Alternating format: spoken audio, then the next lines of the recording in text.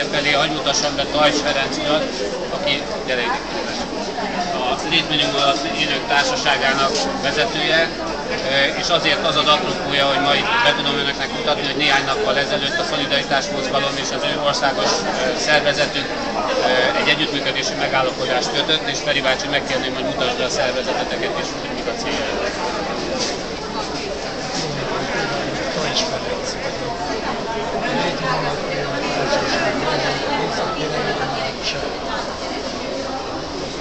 92-ben szerveztük ezt a szervezetet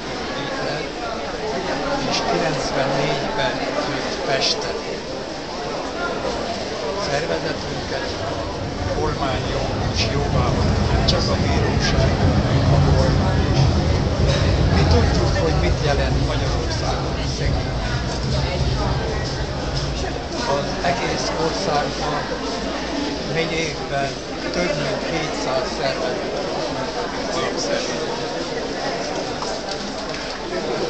Nappa, vagyis havonta ruhanemeket, meg az adományok osztunk a szegény emberek. Viszont minden évben, két esetben nagyobb mennyiségű élelmiszer Azonban tavaly már nem kaptunk élelmet, mert a kormány kiküldte más országban. Mi tudjuk azt, hogy ott is vannak szegények, de mi szegényebbek vagyunk.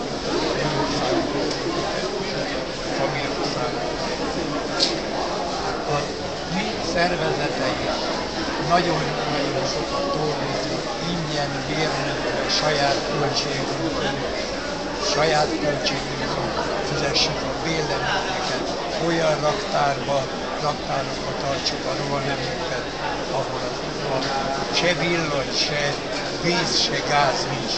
A alkalmazottaink, a segítőink télen, akinek energiás ott nem tudják elképzelni.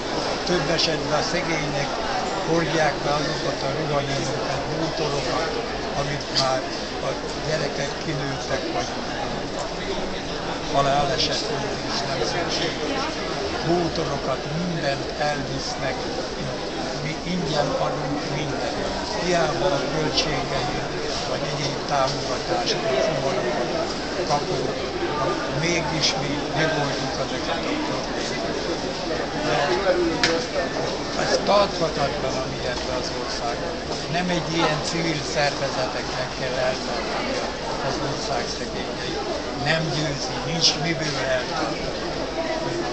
Az a feltétel, feltétel, ez a kormány ad másoknak, meg ellopnak a itt a föld, amit bérbe adtak meg minden. Nem a szegények kapták, akik korábban termelőszövetkezetekben hanem kormányhoz közel álló, Belcsúthoz közel álló községek polgármesterek.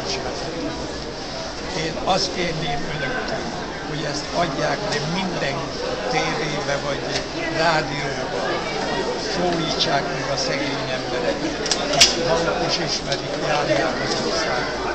Hogy jön a választás, tudják meg, hogy kiket. Mi azt mondjuk, hogy ezek az emberek sokat tettek az országnak, kétszer építettük fel ezt az országot. Nem ezt érdemli a magyar társadalom, amit kapnak. És akkor egy kis